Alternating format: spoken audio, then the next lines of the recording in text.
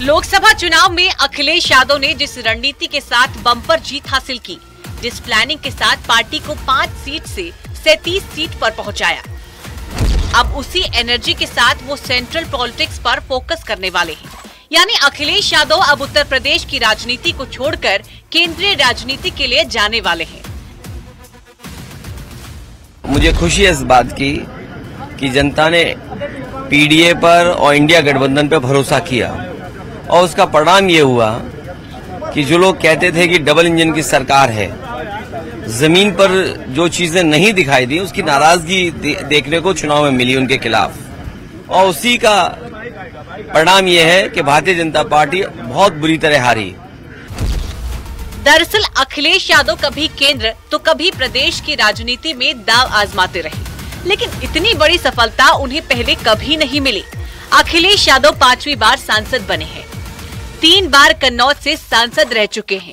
2022 में करहल से चुनाव लड़कर जीता फिर आजमगढ़ लोकसभा छोड़ दी थी एक बार फिर कन्नौज से सांसदी लड़ी अब अखिलेश यादव ने साफ कर दिया है वो करहल छोड़ कन्नौज के रास्ते दिल्ली की राजनीति में एक्टिव रहेंगे कार्यकर्ताओं से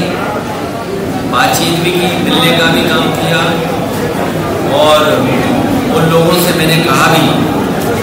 जब दो जगह से चुनाव में जीत गया हूँ तो एक सीट छोड़नी पड़ेगी तो बहुत जल्दी मैं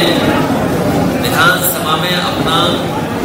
जो हमें सीट छोड़नी है उसकी जानकारी दे देंगे तो हम लोग तय कर लेंगे फैसला यही हो कि जिससे पार्टी को और मजबूती मिले पार्टी का और वोट बढ़े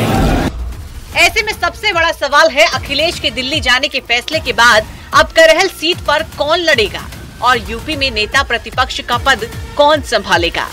इस पर भी चर्चाएं शुरू हो गई है सूत्रों की माने तो अब करहल सीट पर तेज प्रताप यादव चुनाव लड़ सकते हैं वहीं यूपी में नेता प्रतिपक्ष का पद शिवपाल यादव संभाल सकते हैं शिवपाल अब विधायक दल में सबसे वरिष्ठतम सदस्य हैं। राम अचल राजभर जो कि अंबेडकर नगर से विधायक है उनके रास्ते भी नेता प्रतिपक्ष के लिए खुले हुए हैं समाजवादी पार्टी के जो भी विधायक हैं उनमें वरिष्ठतम सदस्य शिवपाल सिंह यादव ही हैं ऐसे में मुझे जहाँ तक उम्मीद है कि अखिलेश यादव जी नेता विपक्ष की कुर्सी अपने चाचा शिवपाल सिंह यादव को ही देंगे पीडीए का फॉर्मूला लेकर चलने वाले अखिलेश यादव कोशिश करेंगे कि उत्तर प्रदेश की विधानसभा में नेता प्रतिपक्ष पीडीए से ही बनाया जाए जिसमें सबसे पहला नाम शिवपाल यादव का है बाद में किसी और का और कुछ ऐसा ही मैसेज शिवपाल यादव भी देते रहे हैं समय अगर ये देखा जाए तो समाजवादी पार्टी 200 विधानसभा से ज़्यादा जीती है तो अगर आज नैतिकता के आधार पर अगर भारतीय जनता पार्टी उत्तर प्रदेश से इस्तीफा दे दें और इस्तीफा दे करके चुनाव कराए जाएं तो फिर उत्तर प्रदेश में अखिलेश यादव की अगुवाई वाले समाजवादी पार्टी निश्चित उत्तर प्रदेश में स्पष्ट बहुमत की सरकार बना लेगी कार्यकर्ताओं का हमारे विधायकों का हमारे सांसदों का मनोबल तो बढ़ा है ही बढ़ा ही है तो अब ठीक है विधानसभा में ठीक ही होगा यानी अखिलेश यादव को पूरा यकीन है कि वो सेंट्रल पॉलिटिक्स में और बेहतर कर सकते हैं क्योंकि अगर इंडिया गठबंधन में सहयोगियों की भागीदारी को देखा जाए तो कांग्रेस के बाद सबसे ज्यादा सीट लाने वाली पार्टी समाजवादी ही है और पार्टी को इस मुकाम पर पहुंचाने वाले Akhilesh Yadav bureau report news eighteen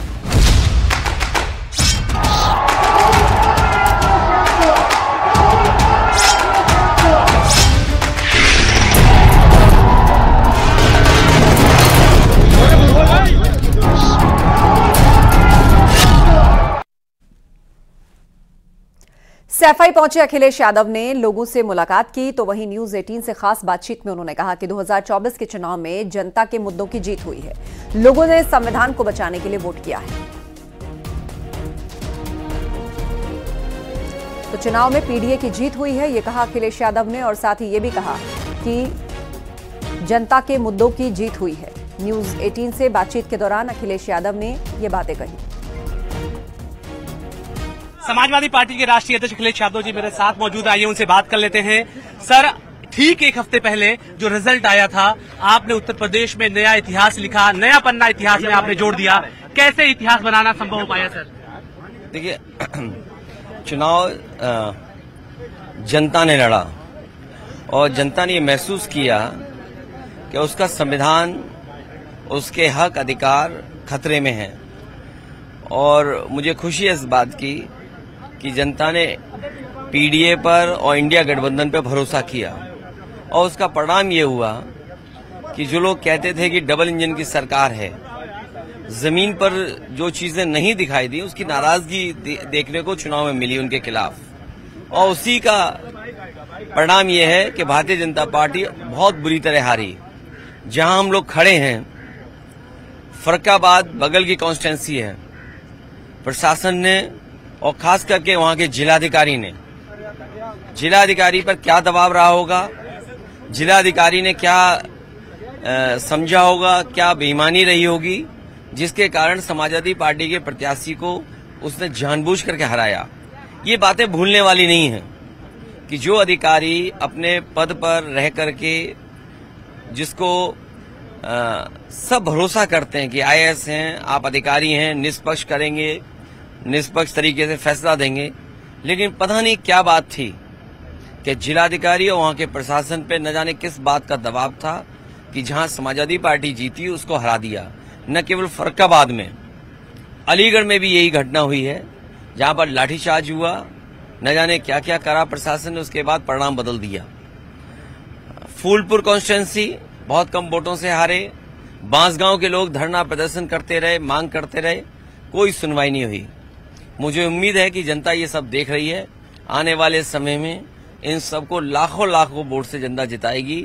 ये बेमानी भी करना चाहेंगे तो बेमानी नहीं हो पाएगी आपके पास तो संसाधन कम थे टर्निंग प्वाइंट कौन सा मानते हैं आप इलेक्शन में टर्निंग प्वाइंट कौन सा प्वाइंट था जहां से इलेक्शन बिल्कुल उलट गया और आपके पक्ष में आ गया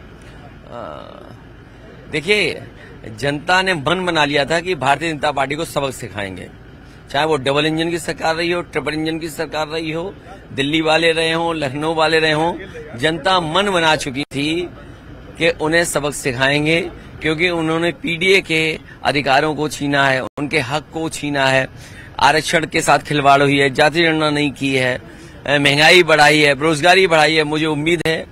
कि अब उन्होंने सरकार जो तोड़ से या सहयोग से बना ली है अग्निवीर व्यवस्था खत्म होगी नौजवानों को नौकरी रोजगार मिलेंगे और जो बड़े बड़े झूठे वादे इन्वेस्टमेंट में किए थे कम से कम जमीन पे इन्वेस्टमेंट दिखाई देगा